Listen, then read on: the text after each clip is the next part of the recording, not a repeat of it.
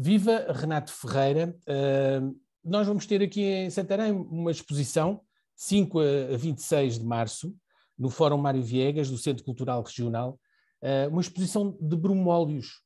Uh, e eu começava por lhe perguntar o, o que é que vamos poder ver nesta exposição em Santarém. Portanto, vou, vou apresentar cerca de 36 bromólios da minha autoria, que são trabalhos efetuados ao longo de bastante tempo uh, e que têm sido parte de outras exposições e que agora, ao convite do, do Centro Cultural, uh, irei apresentar com muito, com muito gosto. Uh, e para quem não, não conhece esta, esta palavra, brumólio, o que é que é o brumólio? Em que é que consiste esta, esta arte? O brumólio é, é, é um trabalho executado, é uma fotografia a preto e branco, resumidamente. É uma fotografia uh, em, em, papel de de prata, uh, que é uh, feita a preto e branco, portanto, seguidamente a fotografia é submetida a um branqueamento e depois do branqueamento e feita uma matriz, essa matriz é depois pintada, digamos assim, com um óleo à base de óleo de linhaça e pigmentos de várias cores que podem ser utilizados, dando origem a uma pintura, digamos, a uma fotografia que deixou de o ser para se tornar um brumóleo. Brumóleo, brumeto de papel, brumeto com óleo. Portanto, é uma reação química eh, baseada naquele princípio de que o óleo e a água não se, não se juntam, repelem-se, e, portanto, há aí na superfície do papel, que agora está impregnado com uma matéria que já não é mais uh, uh, prata, uh, passa a nitrato de prata, ou melhor, de prata metálica, passa a ser um outro material que vai absorver a tinta uh, e vai repelir a tinta em função de, de, de características que obteve durante o processo químico. Esta é uma técnica que remete para, o século XIX, uh, julgo eu que uh, para os primórdios da fotografia, em que havia na altura, uh, em concorrência, várias técnicas, depois, aperfeiçoando a, a, a, fotografia atual, apurou aquelas que eram mais uh, compatíveis com a, com a tecnologia. Exato. Uh, o bromólio uh, surge nessa altura, no século XIX. Exatamente, o bromólio surge na continuação de técnicas que vinham a ser desenvolvidas por volta do meados do século XIX, técnicas que vinham a ser desenvolvidas com a utilização de produtos uh, sensíveis que não eram o nitrato de prata. Passaram, começaram a ser utilizados outros produtos, entre eles um produto chamado dicromato de potássio. Esse dicromato de potássio tem uma cor amarela e realmente uh, as pessoas não, não, não, gostavam muito daquele tom amarelo uh, nas fotografias e perdeu um pouco a popularidade mas deu origem a um processo que ainda hoje se pratica, chamado a impressão a óleo. Essa impressão a óleo é, digamos, o um processo mais antigo da utilização do óleo, óleo de linhaça e pigmentos sobre uma superfície. Só que nessa altura não haviam ampliadores. E então uh, o trabalho era feito com uma folha de papel ou outro material, podia ser madeira, podia ser vidro, uh, que era impregnado com gelatina, umas camadas de gelatina, depois levava uma camada ou mais de dicromato de potássio, que é um material sensível, e seguidamente, depois de seco, era feito uma sanduíche com um negativo, podia ser vidro, uma placa de vidro negativa ou um, um outro processo qualquer, como por exemplo se utilizou posteriormente negativos feitos em papel de cera e esse negativo em sanduíche era levado à, à luz, à luz do sol, que tem UV, portanto tem muitos raios UV, impregnava, passava a imagem para, para a superfície sensível, que depois era lavada, era, era tirada aquela coloração amarela, não totalmente, não perde totalmente, mas a partir desse momento começava a ser pintado com pincéis finos a trazer de novo o, o motivo que ele estava e que tinha sido fotografado e que tinha sido lá transposto. Portanto, chama-se isso um processo de impressão ao óleo que foi muito popular, mas como é óbvio, da minha explicação deve ter deduzido que só dava para fazer uh, fotografias, transposição de fotografias dentro do tamanho do próprio negativo não dava para fazer ampliações, porque nessa altura não existiam ainda os ampliadores. Os ampliadores só apareceram a partir de 1900. E nessa altura, com os ampliadores, começaram a aparecer fabricantes de papel, de materiais sensíveis, uh, que foi o desenvolvimento, digamos, das aplicações sensíveis na prata, a prata, do nitrato de prata, os brometos, os, os halogenetos, os cloretos e, e os nitratos de prata. E esses, esses papéis comerciais que deram a oportunidade de se fazerem ampliações passaram a ser utilizados uh, para se fazer um, um, trabalho de aplicação com o óleo de linhaça e com os pigmentos. Daí se terem desenvolvido o bromóleo. Portanto, o bromóleo desenvolve-se a partir de cerca de 1905. Uh, eh, começam a aparecer indivíduos a fazer o bromólio. O bromólio, porque cá está papel de brometo com o óleo em ampliações. É a grande diferença entre a impressão ao óleo e o bromólio. O bromólio é efetivamente de que é feito com papéis eh, com material sensível e o nitrato de prata e o gelatina e o nitrato de prata e ao mesmo tempo, portanto, uma, uma, uma utilização do, do, do ampliador para se fazerem cópias, para se fazerem a trabalhos de outra dimensão. Desenvolveu-se de seguida um processo de repetição dessas fotografias. Isto é, podiam fazer-se da mesma, do mesma matriz, do mesmo bromólio, fazer-se quatro ou cinco iguais. Como? Através de uma prensa. Uma prensa onde era posto o bromólio ainda fresco, com um papel de boa qualidade por cima, entrava numa prensa e passava um motivo para, esse, para essa outra uh, para esse outro papel. Portanto, deu origem à reprodução, o que tornou, tornou efetivamente muito popular.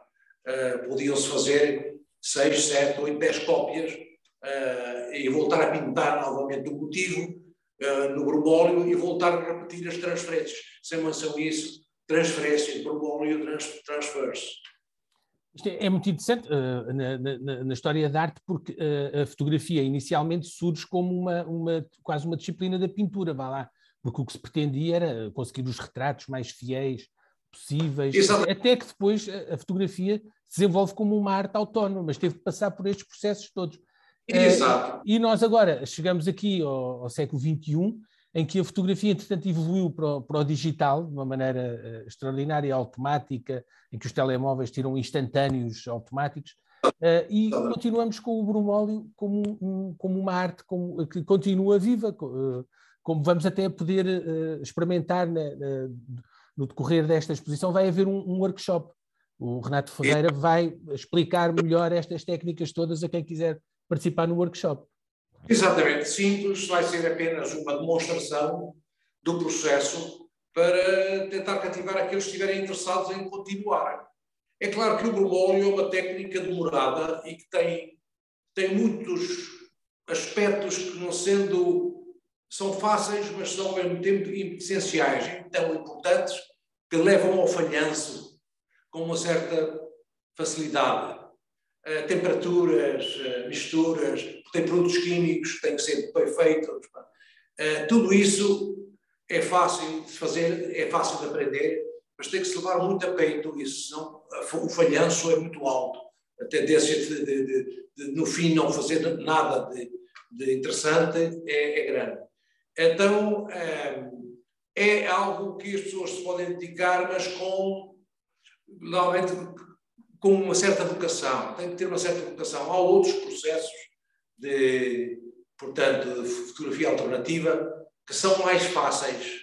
São mais fáceis, são mais intuitivos, são mais simples, são menos, são menos dispendiosos também, até menos perigosos, porque, por exemplo, no hormônio utilizamos dicromatos de potássio, encontramos e outros líquidos, ácido sulfúrico, etc., que são líquidos venenosos e corrosivos, com os quais uh, temos que lidar com uma certa, com uma certa cautela, uh, mas uh, não é nada que não se possa ultrapassar.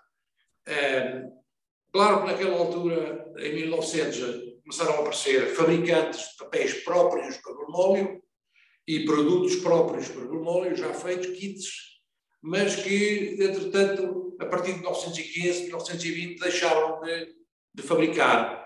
Portanto, hoje, quem quiser fazer o vermólio terá que, efetivamente, uh, recorrer a produtos uh, a granel, uh, comprá-los muitas vezes fora, naqueles países onde a técnica continua a ser muito popular ainda. Refiro-me à Checoslováquia, à Rússia, refiro-me à Inglaterra, aos Estados Unidos. Aqui em Portugal é difícil arranjar alguns dos produtos, nem todos os produtos se, encontram. Mas hoje, com a, a facilidade do, do eBay, uh, consegue-se em todo lado. Aqui na vizinha Espanha já há bastantes produtos. E eu estou convencido que não há tardar muito tempo, em Portugal também vão aparecer fornecedores, uh, porque muitos destes produtos são produtos de fotografia a preto e branco e a cores. Portanto, e há muito interesse em voltar às práticas manuais. Uh, nós temos aqui na, na, nossa região um, um, um museu único, uh, o Museu da, da Fotografia do, do, Carlos Relvas, na Gulgã. Uh, tanto quanto eu julgo saber, já, já expô, o Renato Ferreira já expôs lá os seus trabalhos e conhece também da coleção, também eles têm lá brumólios da, da época, julgo eu. Expus a convite, expus a convite da, da Casa Estúdio Carlos Relvas, porque se é um sítio emblemático para se fazer um trabalho destes, é exatamente o estúdio, o estúdio Carlos Relvas, porque foi ali o berço da fotografia, uh, da fotografia, nascer da fotografia em Portugal. É, elas praiou para todos os lados, mas foi efetivamente ali com Carlos Relvas e com Federico Bonassi dos Anjos que apareceram os primeiros trabalhos de, que hoje se diz dizer fotografia, fotografia alternativa. Um, ontem tive o prazer e até uh, a emoção de ter na mão uh, uma coleção de, de bromólios do golinense uh, Frederico Bonacci dos Anjos. Uma coleção de, de, de bromólios muito bonitos uh, do precursor do bromólio em Portugal talvez o professor do Mormónio Pergola, ele e o Carlos Relvas. Ele foi, foi, foi um discípulo de Carlos Relvas uh, e que depois também fundou o seu próprio estúdio. Um e outro eram latifundiários, gente de dinheiro, e que, e que desenvolveram, o Carlos Relvas desenvolveu aquele estúdio de base, que é uma obra-prima, é? aquele, aquele, a Casa Estúdio. Uh, e, curiosamente, uh, portanto, esses brumólios vão ser expostos em maio numa coleção, numa exposição na Casa Estúdio.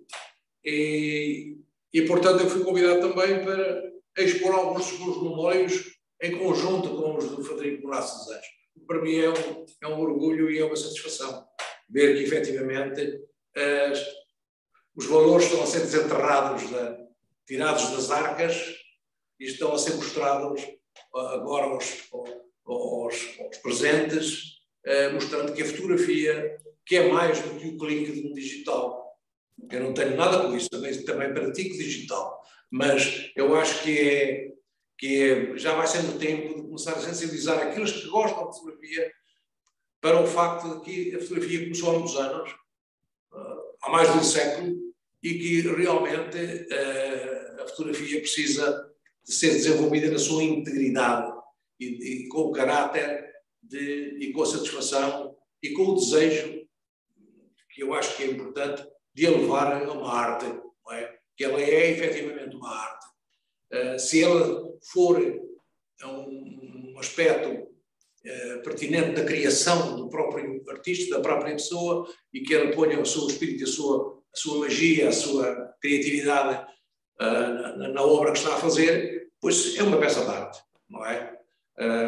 Que se vulgarizou imenso agora com a, os processos modernos de tirar fotos, de captar momentos, de fazer registros, como se diz, mas a fotografia não é só isso. A fotografia não é só isso. Uh, tanto quanto eu sei, é um hobby. A fotografia para si, o brumólio, é um hobby. Uh, como é que surgiu o brumólio na sua vida? Uh, e como é que surgiu na, o seu interesse por, por, esta arte?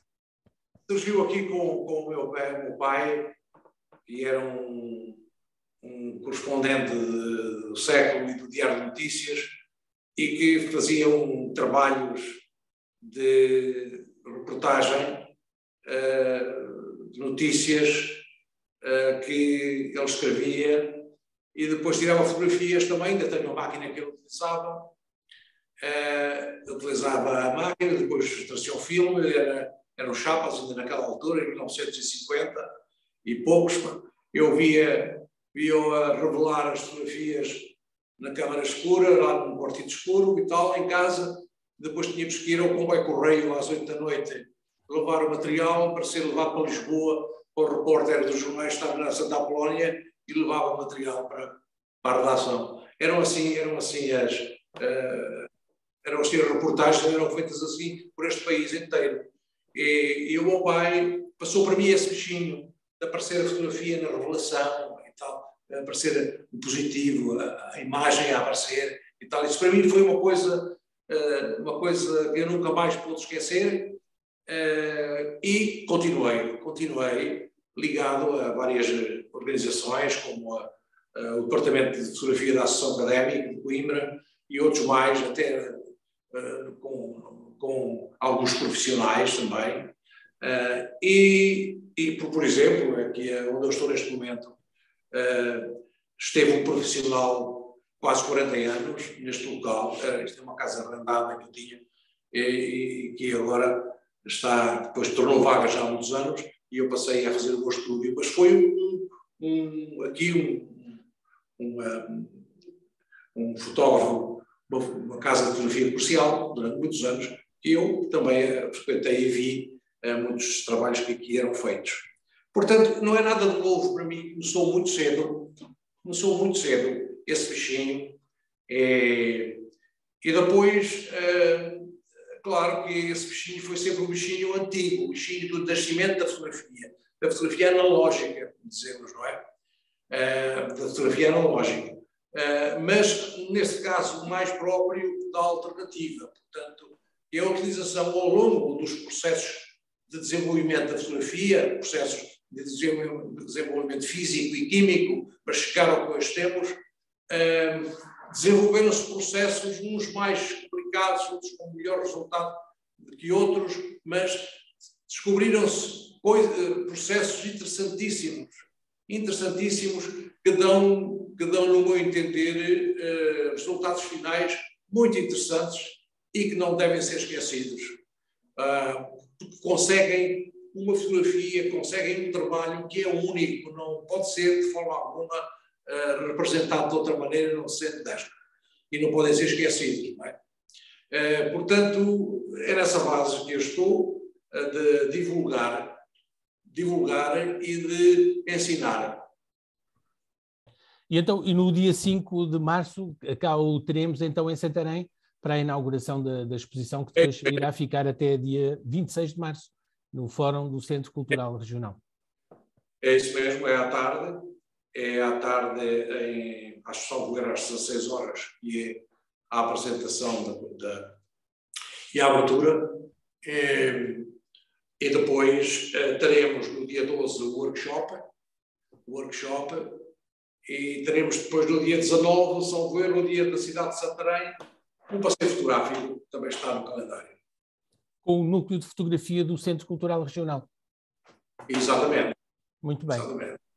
Foi um gosto conversar consigo. Uh, até dia 5, então. Até, até o dia deste.